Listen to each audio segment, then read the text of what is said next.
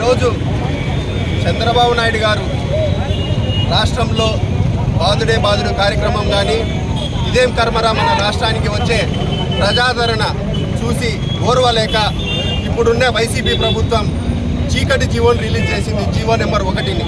రాత్రి రాత్రికే. ఇటువంటి జీవోలకు టీడీపీ పార్టీ కానీ లేదంటే ప్రజాస్వామ్యంలో మీరు అపహాస పాలవుతారు తప్ప మీకు వచ్చేది ఏం లేదు. అయ్యా ఈరోజు చంద్రబాబు నాయుడు గారు కుప్పం పర్యటనకు పోతుంటే మీకెందుకు అంత భయం? చంద్రబాబు నాయుడు గారికి వచ్చే ప్రజాదరణ చూసి మీరు ఓర్వలేక ఈ పనులు చేస్తున్నారు. ప్రజలందరూ ఎన్ని గమనిస్తూనే ఉంటారు. అయ్యా చీకటి జీవోలు అనేది ఎమర్జెన్సీ టైంలో ఇటువంటి జీవోలను రిలీజ్ చేస్తున్నారు.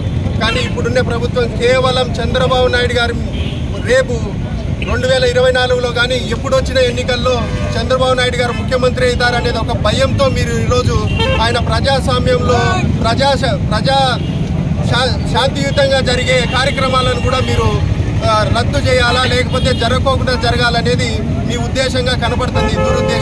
కానీ ఇట్లాంటి దురుద్దేశాలకు తెలుగుదేశం పార్టీ కానీ తెలుగుదేశం పార్టీ నాయకులు కానీ కార్యకర్తలు కానీ ఎవరు భయపడరు. ఇటువంటి అన్ని ఎట్లా ఎదుర్కోవాలో చంద్రబాబు నాయుడు గారికి బాగా తెలుసని కూడా ఈ సభాముఖంగా మీ అందరికీ తెలియజేస్తున్నాను. చీకటి జీవోని జీవో నెంబర్ ఒకటిని మీరు ఉపసంహరించుకోవాలని కూడా డిమాండ్ చేస్తున్నాము.